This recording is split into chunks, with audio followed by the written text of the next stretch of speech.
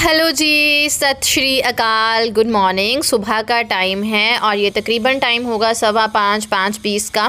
तो मैं यहाँ पे नहा धो के आ गई थी और आजकल तो रेडी शेडी इसी तरह से होना है ना। बहुत सारे कपड़े डालने हैं क्योंकि हमारे यहाँ तो ठंड काफ़ी हो रही है और सुबह सुबह की तो ठंड होती है। मुझे तो वैसे भी बहुत लगती है और फिर मुझे अपने आप को ना ठंड से बचाना भी है क्योंकि मेरे कंधों पर सारा बोझ है। मुझे कुछ हो जाएगा तो सब गया। फिर सुबह का टाइम है सवा पाँच, बीस और मैं रेडी हो रही हूँ नहा धो के क्योंकि मुझे अब करना है जय बाबा जी और सत श्री अकाल। मैं करती हूँ इस टाइम पे पाठ अपना और उसके लिए मुझे दो पाठ करने होते हैं तो फिर डेढ़ दो घंटा आराम से लग जाता है। सात बजे तक फिर मैं जो है वो पाठ पूजा करके अपना जो है वो फ्री हो जाती हूँ। आपके साथ हमेशा मैं किचन से स्टार्ट किया करती थी, है ना? सेवन ओ अगर आप मेरे डेली व्यूअर हैं तो आपको पता है मैं हमेशा ब्लॉगिंग जो स्टार्ट करती हूँ सुबह की ना, वो सेवन ओ करती हूँ। ये चीज़ें मैंने आपके साथ कभी भी शेयर नहीं की है।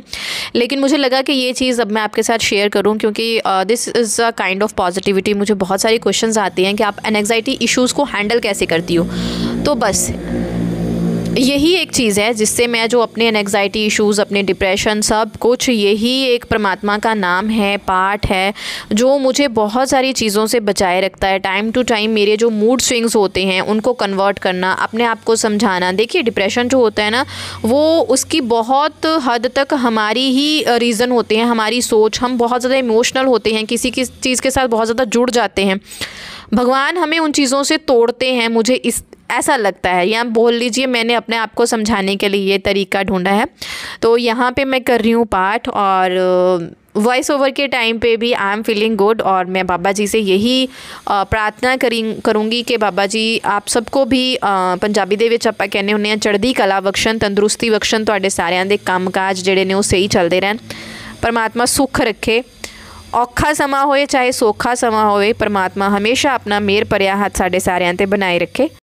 पाठ करने के बाद बस मैं लिविंग एरिया में आ, अपने आ गई हूँ थोड़ा सा यहाँ पे शूज़ वगैरह डालूँगी आज सैटरडे का ये गाइस व्लॉग है और ऐसा था कि कुछ ज़्यादा काम तो नहीं है, लेकिन काम तो फिर भी मुझे टाइम से ख़त्म करने हैं क्योंकि शॉप पे जाना है। आज हरिथवी की है छुट्टी, क्योंकि उनका जो स्पोर्ट्स डे हुआ था तो उस टाइम पे उनको छुट्टी नहीं मिली थी। उनको छुट्टी मिली सैटरडे पे। ये मुझे बहुत अच्छी प्लानिंग लगी उनकी कि सैटरडे संडे काम आ जाएँगे, जिसको भी है ना, काम में लेने हों।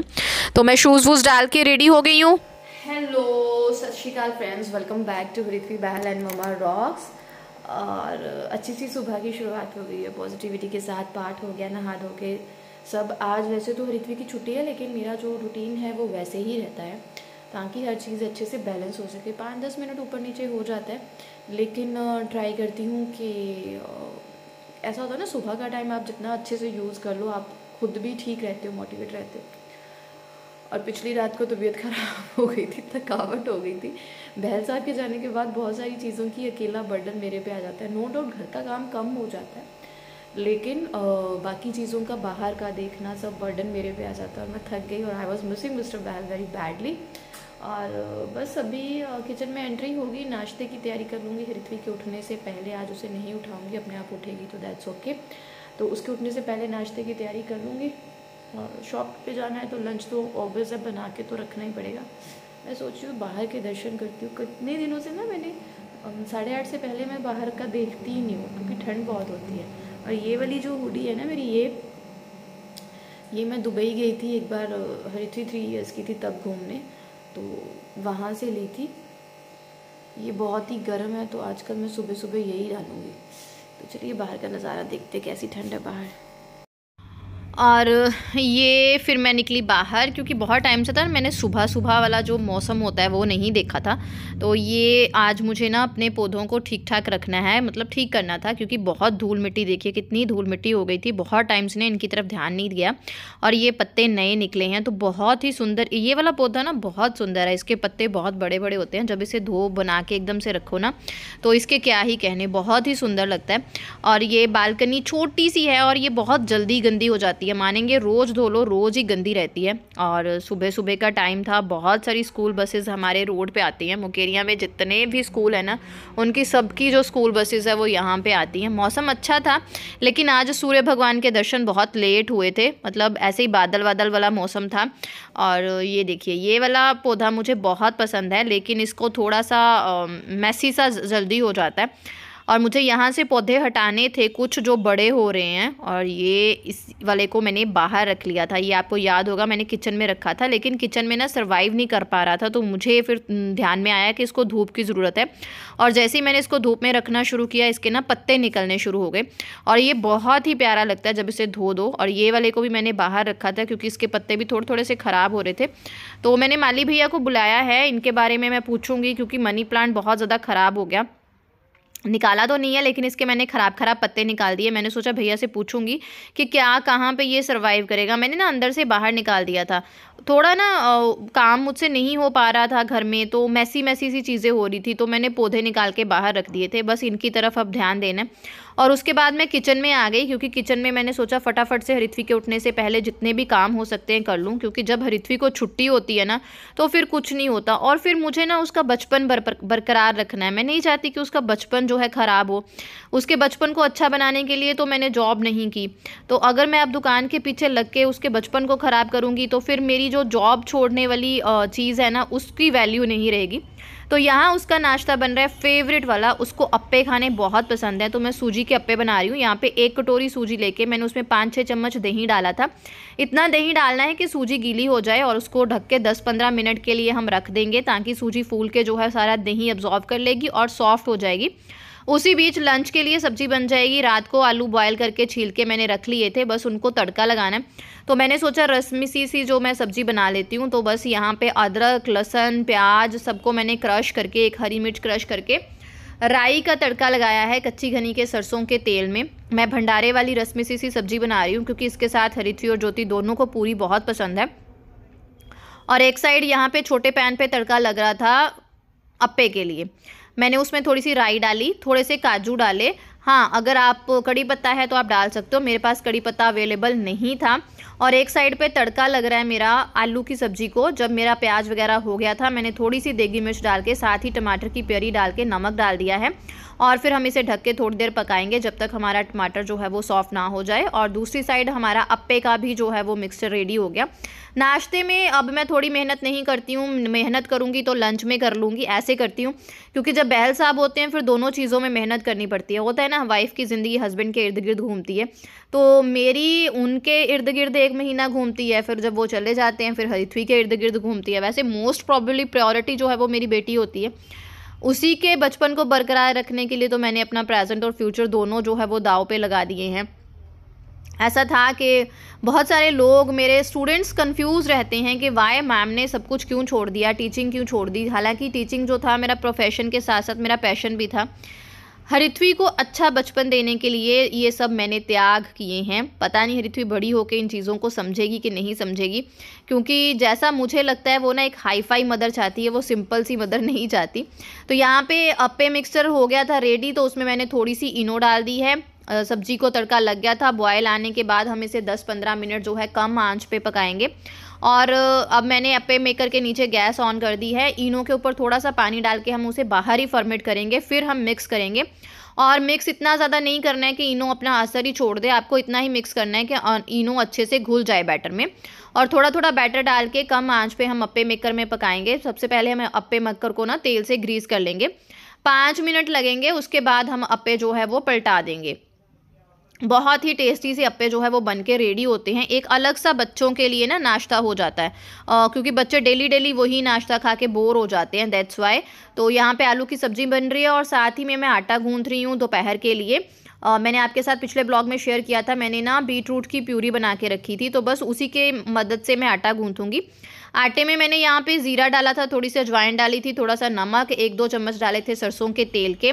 और फिर मैंने थोड़ी थोड़ी प्यूरी डालते हुए जो है आटा अच्छे से गूँथ लिया है। इसकी हम दोपहर को बनाएँगे पूरियाँ। ऐसे ही मैंने किया, ब्रेकफास्ट में कम मेहनत और लंच में थोड़ा सा मेहनत मैं ज़्यादा कर लूँगी और उसी के साथ काम ख़त्म हो गया मेरा किचन का। मैंने चाय बनाई अपने लिए। फिर किचन के सारे काम जो थे छुटपुट ना, बर्तन वर्तन जल्दी से धोए और फिर मैं आ गई बाहर क्योंकि आज मेरा मोटिव था कि मैंने पौधे वगैरह साफ़ करने।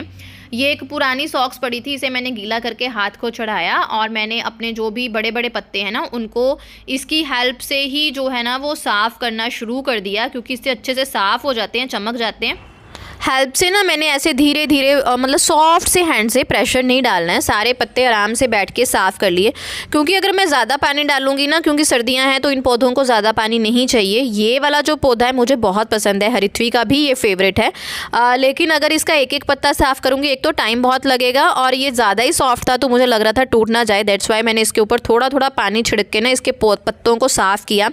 एक्स्ट्रा पानी गमले में से मैंने उसी टाइम निकाल दिया क्योंकि इन दिनों में अगर इन पौधों को ज़्यादा पानी दिया जाए ना तो ये गल के ख़राब हो जाते हैं। और मुझे लग रहा है मैंने बहुत ज़्यादा स्पीड रखी हुई थी वॉइस ओवर की। सॉरी गाइज़ मुझे ना जल्दी होती है। वॉइस ओवर करते टाइम ना, अभी एक कस्टमर भी आ गया था और ज्योति यहाँ पे नहीं थी जो मैं उसे देखने लगी। मेरा वॉइस ओवर सारा गलती से डिलीट हो गया। और फिर दूसरी बार जब मैंने करना शुरू किया ना तो मैंने स्पीड रखी हुई थी। मुझे साथ साथ कस्टमर्स भी देखने होते हैं। बहुत काम है यार, बहुत काम है। और मुझे काम करना बहुत अच्छा लगता है। आप सॉरी मत फील किया करो। एक बंदे का मेरे को कमेंट आया, हाय, आप कितना काम करती हो? मेरे को आपका बड़ा दुख लग रहा है। इतना मतलब अपने आप को पता नहीं वो धर्मात्मा समझ रहा था आप समझ रहे होंगे। कुछ जेंट्स कैसे होते हैं ना आके पता नहीं क्या क्या लिख रहा था वो। तो हम पहुँच गए हैं अपनी सल्तनत में अपनी शॉप में। ये ना मैं सामने बैठी हूँ शॉप के कि धूप मुझे आए। सुबह से इतने काम थे इतने काम थे छोटे छोटे छोटे छोटे छोटे।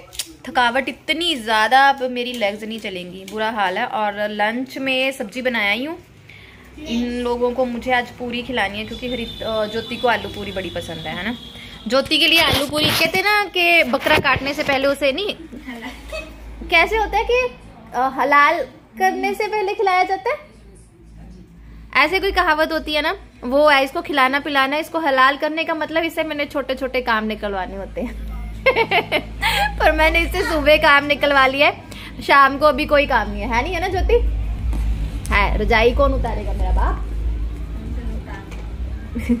रिथवी जब मैं ऐसे बोलती हूँ ना आई डोंट माइंड ऐसा मत सोचना कि मैं ना गलत मलत ऐसे बोलती हूँ।